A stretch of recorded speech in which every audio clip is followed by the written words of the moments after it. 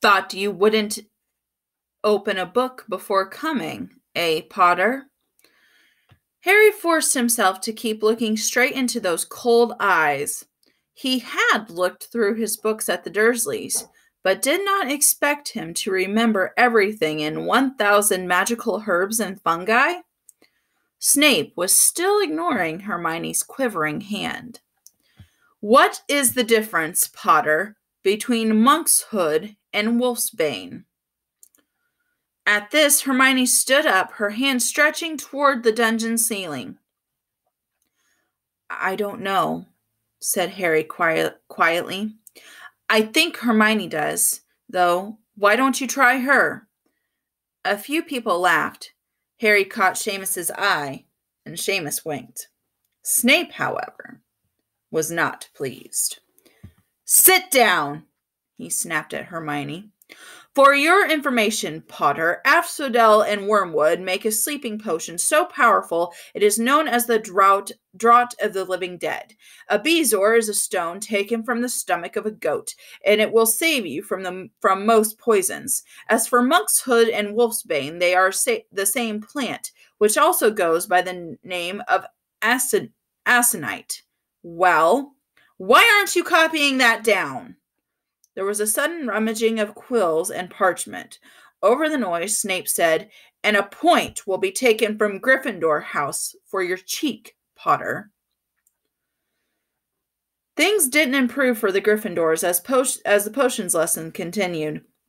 Snape put them all into pairs and set them mi- to mixing up a simple potion to cure boils. He swept around in his long black cloak, watching them weigh dried nettles and crush fa- snake fangs, criticizing almost everyone except Malfoy, who he, whom he seemed to like. He was just telling everyone to look at the perfect way Malfoy had stewed had stewed his horned slugs when clouds of acid green smoke and a loud hissing filled the dungeon. Neville had somehow managed to melt Seamus's cauldron into a twisted blob, and their potion was seeping across the stone floor, burning holes in people's shoes.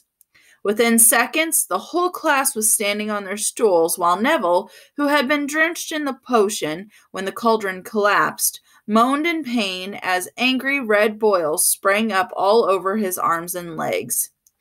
Idiot boy!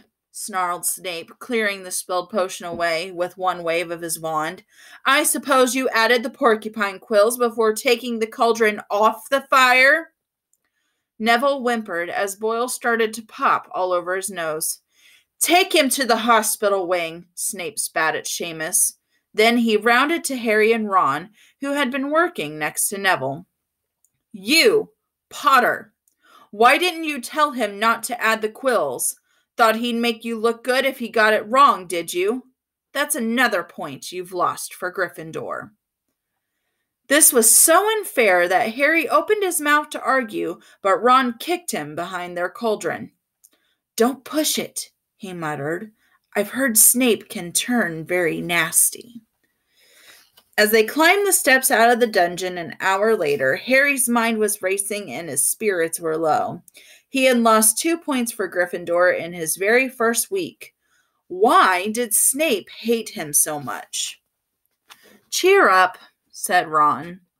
Snape's always taking points off of Fred and George. Can I come and meet Hagrid with you? At five to three, they left the castle and made their way across the grounds. Hagrid lived in a small wooden house on the edge of the gra- of the edge of the Forbidden Forest forest. A crossbow and a pair of galoshes were outside the front door. When Harry knocked, they heard a frantic scrambling from inside and several booming barks. Then Hagrid's voice rang out, saying, Back, Fang! Back! Hagrid's big, hairy face appeared in the crack as he pulled the door open. Hang on, he said. Back, Fang! There was only one room inside. Hams and pheasants were hanging from the ceiling, a copper kettle was boiling on the open fire, and the, in the corner stood a massive bed with a patchwork quilt over it.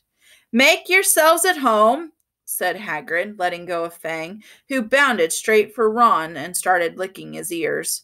Like Hagrid, Fang was clearly not as fierce as he looked. This is Ron, Harry told Hagrid, who was pour- pouring boiling water into a large teapot and putting rock cakes onto a plate. Another Weasley, eh? said Hagrid, glancing at Ron's freckles. I spent half me life chasing your twin brothers away from the forest. The rock cakes were shapeless lumps with raisins that almost broke their teeth, but Harry and Ron pretended to be enjoying them as they told Hagrid all about their first lessons. Fang rested his head on Harry's knee and drooled all over his robes. Harry and Ron were delighted to hear Hagrid call Filch that old git.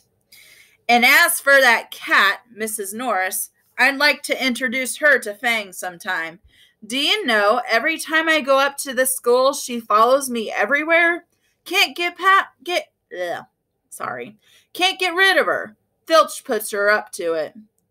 Harry told Hagrid about Snape's lesson. Hagrid, like Ron, told Harry not to worry about it, that Snape liked hardly any of the students. But he seemed to really hate me. Rubbish, said Hagrid. Why should he? Yet Harry couldn't help thinking that Hagrid didn't quite meet his eyes when he had said that. How's your brother Charlie? Hagrid asked Ron. I liked him a lot. Great with animals. Harry wondered if Hagrid had changed the subject on purpose. While Ron told Hagrid all about Charlie's work with dragons, Harry picked up a piece of paper that was lying on the table under the tea cozy. It was a cutting from the Daily Prophet. Gringotts break in latest. Investigations continue into the break in at Gringotts on 30, on the 31st of July, widely believed to be the work of dark wizards or witches unknown. Gringotts goblins today insisted that nothing had, was, had been taken. The vault that was searched had been, in fact, emptied that same day. But we're not telling you what was in there, so keep your noses out uh, out if you know what's good for you, said a Gringotts spokesgoblin after this ap- said a Gringotts spokesgoblin this afternoon. Harry remembered Ron telling him on the train that someone had tried to rob Gringotts, but Ron hadn't mentioned the date. Hagrid, said Harry, that Gringotts break in happened on my birthday.